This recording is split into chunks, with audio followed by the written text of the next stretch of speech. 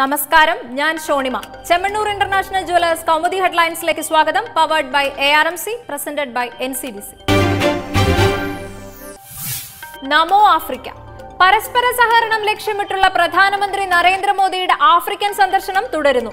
Mozambique president Philip ന്യൂസിയുമായി കൂടിക്കാഴ്ച നടത്തിയ മോദി പ്രതിരോധ സുരക്ഷാ സഹകരണ കരാറുകളിൽ ഒപ്പുവെച്ചു.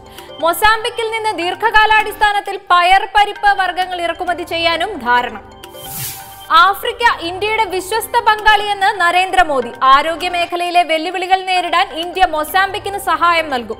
ഭീകരവാദം ലോകം നേരിടുന്ന ഏറ്റവും വലിയ വിപത്തെന്നും സംയുക്ത പ്രസ്താവനയിൽ പ്രധാനമന്ത്രിയും ഫിലിപ്പ് ന്യൂസിയെയും. മൊസാംബിക് സന്ദർശനം പൂർത്തിയാക്കിയ മോദി ദക്ഷിണാഫ്രിക്കയിലേക്ക് തിരിച്ചു. രണ്ട് ദിവസം നീളുന്ന പര്യടനത്തിൽ വാണിജ്യ വ്യാവസായിക രംഗത്തെ പ്രമുഖരുമായി ചർച്ചകൾ നടത്തും. സൗത്ത് ആഫ്രിക്കയിലെ ഇന്ത്യൻ സമൂഹത്തെ അഭിസംബോധന ചെയ്യുന്ന മോദി ശനിയാഴ്ച ടാൻസാനിയയിലേക്ക് തിരിക്കും. കമാൻഡും കൽപ്പനയും. കോൺഗ്രസിൽ ഗ്രൂപ്പ് കളിക്ക് താക്കിയതുമായി രാഹുൽ. പാർട്ടിയിൽ ഒരു തരത്തിലുള്ള ഗ്രൂപ്പ് പ്രവർത്തനവും വച്ചു പൊറപ്പിക്കില്ല.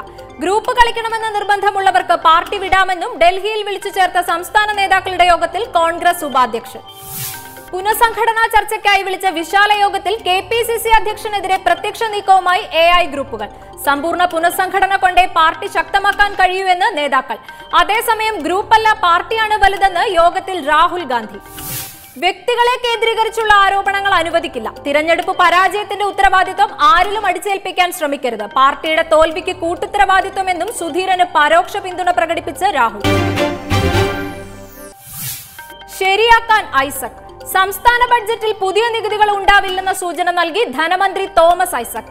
വേണ്ടത്ര നികുതി ഭാരം ജനങ്ങൾക്കുമേൽ യു ഡി എഫ് സർക്കാർ ചുമത്തിയിട്ടുണ്ട്. നികുതി പിരിവ് ഊർജിതമാക്കാനായിരിക്കും നാളത്തെ ബഡ്ജറ്റിൽ ഇടതു സർക്കാർ ഊന്നൽ നൽകുക എന്നും ധനമന്ത്രി. എൽ ഡി എഫ് അധികാരത്തിൽ വന്നതിനു ശേഷം വാണിജ്യ നികുതി വരുമാനത്തിൽ ഉണ്ടായത് വലിയ വർധനവ്. നികുതി പിരിവ് പത്ത് ശതമാനത്തിൽ നിന്ന് പതിനെട്ട് ശതമാനമായി കൂടി. ഇത് ഇരുപത്തിയഞ്ച് ശതമാനമാക്കുകയാണ് ലക്ഷ്യമെന്നും ബഡ്ജറ്റിന്റെ അവസാന മിണുക്കുപണികൾക്കിടയിൽ ഐസക്. അടിസ്ഥാന സൗകര്യ വികസനത്തിനും കാർഷിക മേഖലയ്ക്ക് മൂന്നൽ നൽകുന്ന ബഡ്ജറ്റ് അധിക വിഭവ സമാഹരണത്തിന് ബദൽ മാർഗങ്ങൾ നിർദ്ദേശിക്കും.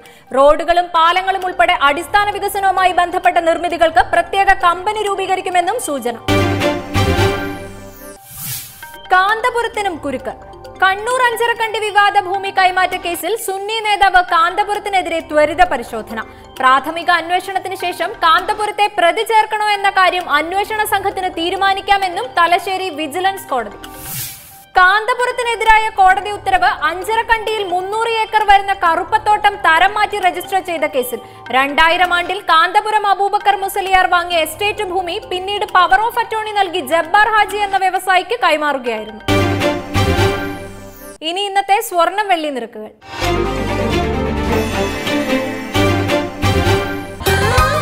ദുബായ് ഗോൾഡ് ആൻഡ് ഡയമണ്ട് സ്വർണ വെള്ളി നിരക്കുകൾ നിങ്ങൾക്കായി അവതരിപ്പിക്കുന്നത്